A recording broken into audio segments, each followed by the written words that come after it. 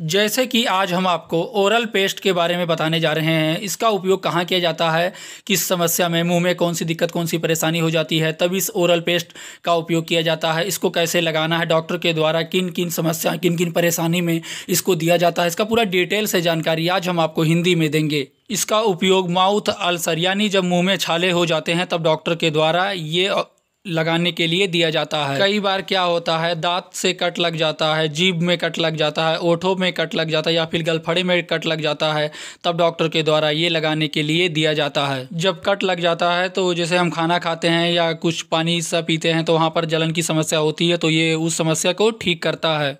और जहाँ पर कट लगता है, वहाँ पर सॉइलिंग की समस्या हो जाता है रेडनेस की समस्या हो जाता है, घाव हो जाता है तो इन सब परेशानियों में ये डॉक्टर के द्वारा लगाने के लिए दिया जाता है, जिससे काफ़ी अच्छा रिज़ल्ट मिलता है और ठीक हो जाता है। ऐसे कई और ओरल पेस्ट आप लगा चुके हैं और उससे आपको आराम नहीं मिलता है, तब डॉक्टर के द्वारा ये दिया जाता है। ये आपको दिन में तीन से चार बार लगाने के लिए डॉक्टर के द्वारा बताया जाता है। जैसे कि मुँह के ओट के तरफ़ अंदर, जीभ के अंदर तरफ़ या फिर गलफड़े में छाले हो जाते हैं तो ये छाले के प्रॉब्लम को ठीक करने के लिए डॉक्टर के द्वारा मरीज़ को दिया जाता है। जैसे कि आपको चुभन सा रहेगा, दर्द सा महसूस होगा, जलन की समस्या रहेगी तो ये सब ठीक हो जाता है इससे। जैसे जहाँ छाले रहेगा, वहाँ गोल गोल सा, व्हाइट सा हो जाएगा या फिर रेड सा हो जाएगा, और वहाँ पर जलन की समस्या होती रहेगी। तब इसे ठीक करने के लिए डॉक्टर के द्वारा ये पेस्ट दिया जाता है। जैसे अगर किसी के मुँह में कच्चा पड़ गया हो वह ठीक से खाना नहीं खा पा रहा हो, जलन सा महसूस हो रहा हो, तब डॉक्टर के द्वारा ये दिया जाता है। गम्स में स्वेलिंग की प्रॉब्लम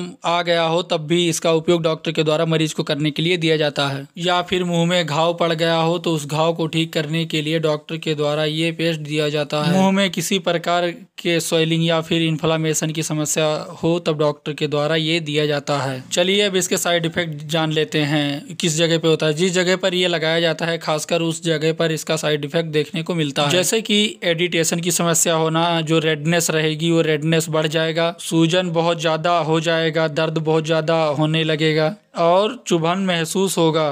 ड्राई माउथ होना, अगर ये सब आपको साइड इफ़ेक्ट दिखे तो इसे तुरंत बंद कर दें और फिर अपने डॉक्टर या फार्मासिस्ट से संपर्क करें। गले में दर्द होना, गले में सूखापन पड़ना तथा किसी किसी व्यक्ति में सांस लेने में समस्या होना तो अगर ये सब साइड इफ़ेक्ट दिखे तो ये तुरंत बंद कर दें, अपने डॉक्टर फार्मासिस्ट से संपर्क करें। अब इसके लगाने का तरीका जान लीजिए, जहाँ पर आपको इंजरी हुआ हो या फिर जहाँ पे आपके छाले पड़े हैं, वहाँ इसको आप उंगली में ले करके उस पार्टिकुलर एरिया पर, जहाँ पर आपको जलन की समस्या हो रही है या फिर दाने पड़े हैं, छाले पड़े हैं तो आप अपने उंगली से वहाँ पर लगा सकते हैं। लगाने के बाद में इसे जो लार मुँह से निकलेगा, वो लार आप अंदर की तरफ़ ना लें। यानी एक प्रकार से वो लार आपको लीलना नहीं है, वो लार आपको बाहर थूकना है। जैसे कि जब लार बंद हो जाए, मुँह में थूकाना बंद हो जाए तो फिर आपको 10 से 15 मिनट तक कुल्ला नहीं करना है, पानी नहीं पीना है। जिससे आपके घाव के जहाँ पर्टिकुलर एरिया पर, जहाँ पर आपको समस्या है, उस एरिया पर यह दवा पूरी तरह से लग जाए, जिससे वो ठीक हो जाए।